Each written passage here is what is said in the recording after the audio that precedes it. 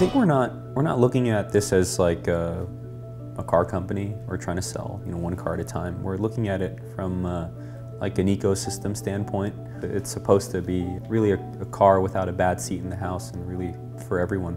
Fully autonomous isn't isn't available to, to everyone yet, but we are designing with that in mind, where the car is almost more like a piece of architecture or a lounge or, or you know a space as opposed to a car. We want to make sure that you know this is a, a unique experience, a different experience that's that's the most pleasurable way to go from point A to point B. Tesla's done something well, you know, they've they paved the way. They've done a, a very successful um, endeavor of getting awareness for electric vehicles. We're trying to um, create this ecosystem, right? This FF, or Faraday Future experience is kind of before and after you enter and exit the car.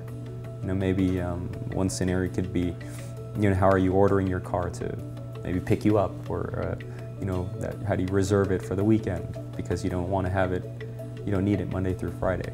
We're looking at, you know, combining, you know, a little bit of the traditional method, which is, you know, ownership, services, and, and then content and uh, share, sharing as well.